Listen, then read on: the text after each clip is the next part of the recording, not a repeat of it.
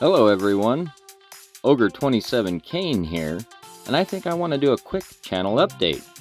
I recently, as you can tell here, have acquired a new method for capturing footage. This should drastically improve my videos. I really appreciate everybody who stuck with me and continues to stay with me. This has been an awesome journey and a great adventure. I've learned so much and I continue to learn more. Next up, the audio. Have a great day.